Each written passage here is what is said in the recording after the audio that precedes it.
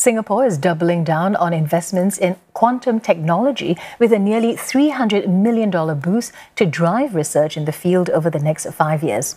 It's the largest single investment ever made, building on over $400 million spent since 2002. The funds will go towards four areas. The first, to design and build quantum processors. It will also focus on the industry to translate research into real world solutions. Besides hardware, Singapore is also investing in talent. Researchers will come under a national R&D center and some 200 PhD and master level scholarships will also be provided. These four elements, scientific excellence, engineering capabilities, talent, and innovative enterprises form an integrated approach in building a quantum ecosystem. We welcome like-minded partners from the region and around the world to join us and collectively harness the next bound of technology for good. This added boost to quantum research is expected to give Singapore a strategic advantage in riding on the next wave of tech advancements. Nicolas Ng finds out where Singapore stands now and the direction it's headed in. This mess of wires, lenses, and monitoring devices is an early version of a quantum computer.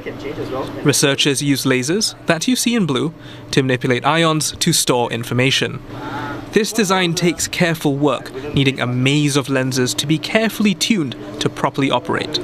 And it's one that can be developed into something fully functional. We still don't know how to construct the best quantum computers this is a race. This is really a fight in the planet. And uh, we are progressing very fast. Singapore is fantastically positioned in this race because Singapore started to work in quantum technologies 17 years ago. Classic computers like those found in our phones go between yes and no billions of times in a single second. This lets it handle everything from our calculations to our Excel spreadsheets. Quantum computers instead look for maybes in their calculations, a difference that allows them to tackle problems that classic computers cannot. This can be applied to sectors like biotechnology to model diseases and develop cutting edge medicines, or in finance to handle calculations that we can't solve with current tech. The ability to tackle such problems could give Singapore an economic leg up quantum computing will confer on us uh, what we call a quantum advantage. And uh, we already have so many economic sectors that can actually leverage on such uh, uh quantum advantage. So I will see that there's an economic reason for that.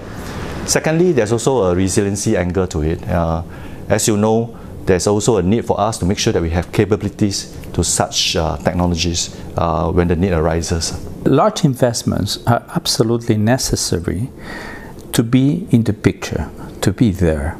Okay? All the countries that are not betting in quantum technologies will simply be behind, will be buyers of technology, not developers of technology. So this investment is key to maintain Singapore at the top level of the countries that develop quantum technologies. It's hoped that this strategic focus will give Singapore that quantum leap towards a digital future.